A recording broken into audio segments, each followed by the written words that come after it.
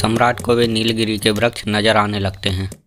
उस जंगल में काफ़ी सन्नाटा रहता है। सम्राट अपने घोड़े को धीरे धीरे चलाकर चारों ओर उस तपस्वी पर नज़र मारते रहता है।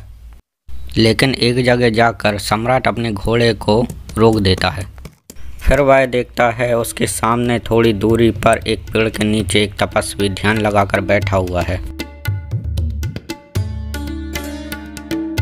ध्यान में होने के कारण सम्राट उस तपस्वी के पास में खड़ा हो जाता है और उनके ध्यान से बाहर आने का इंतज़ार करने लगता है।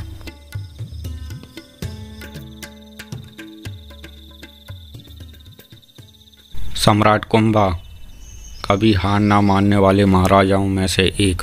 आप कैसे हैं? उस तपस्वी को प्रणाम करके सम्राट कहते हैं स्वामी जी मैं बिल्कुल ठीक नहीं हूँ। अगर आप मेरे बारे में इतना जानते हैं तो आप ये भी जानते होंगे कि मैं किस समस्या के लिए आपके पास आया हूँ।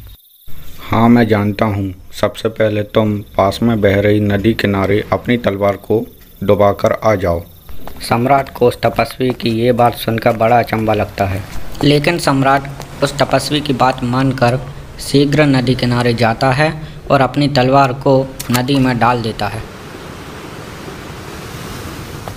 उस तपस्वी के पास पहुंचकर सम्राट कहते हैं स्वामी जी अब आप मेरी समस्या का समाधान बताइए। तुम्हारी समस्या का समाधान कोई और नहीं तुम्हारा स्वयं का पुत्र है।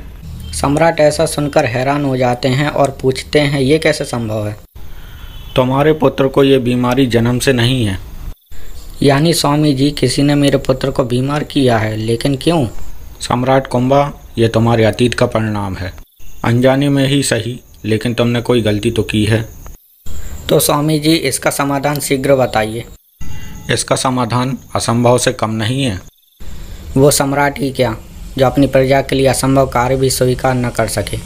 ऐसा सुनकर स्वामी जी उस समस्या का समाधान वे सम्राट को विस्तार से बताते हैं जिसमें वे आने वाली समस्याओं से अवगत कराते हैं। और वे ये भी बताते हैं सम्राट, तुम जिस रास्ते से आगे बढ़ते जाओगे, वैसे वैसे वह रास्ता वापस आने के लिए बंद होता जाएगा। वहाँ की दुनिया, यहाँ की दुनिया से बहुत अलग है। उस दुनिया से बाहर आने के लिए सम्राट, तुम्हारा साहस और तुम्हारी सूझबूझ ही काम आएगी। सम्राट को उनकी मंजिल तक पहुँचाने और वहाँ से लौटने तक का स्वामी जी पूरा रास्ता बता देते हैं। फिर स्वामी जी उस सम्राट से वही तलवार नदी में से निकाल कर लाने को कहते हैं।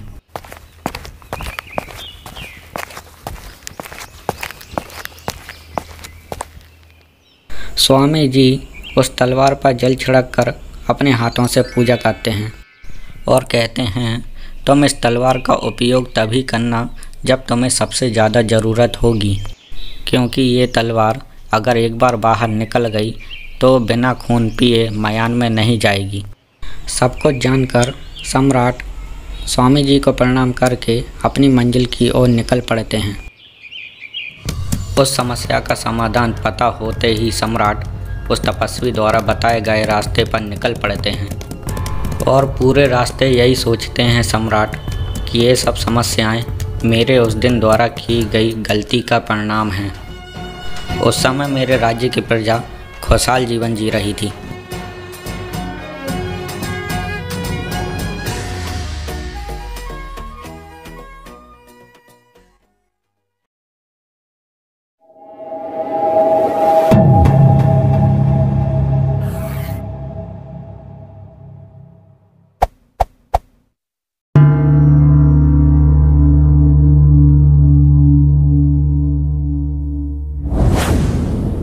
अद्भुत सम्राट अद्भुत।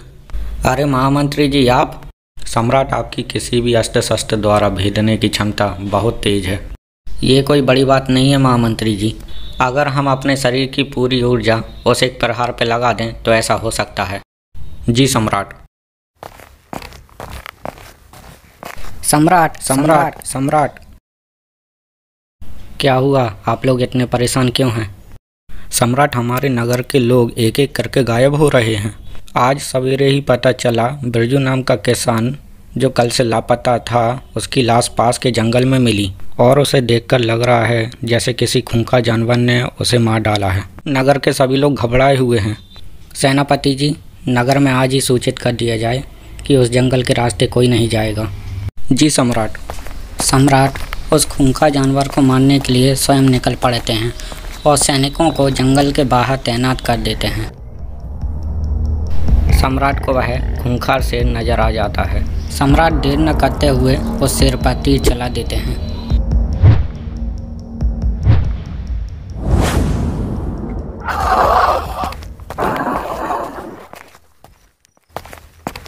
सम्राट उस शेर के पास जाते हैं।